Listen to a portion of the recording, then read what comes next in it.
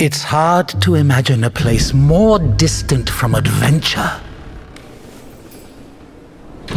than a convent.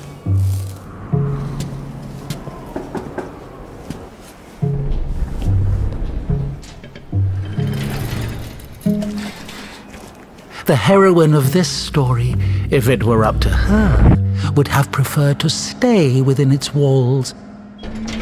However,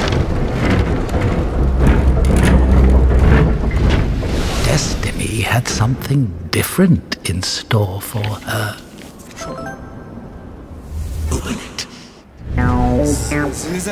Open it. Open it. Open it.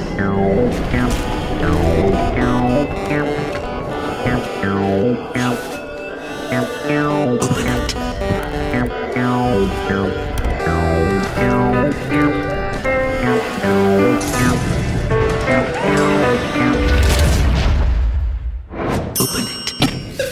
Open it.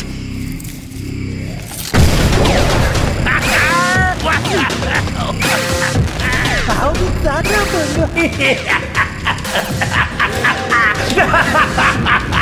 First, you got pushed out of your house, and then out of the monastery. and if, by chance, you were to kill someone and go to jail, sooner or later you'd get pushed out of there as well. so where now? 啊都没有平次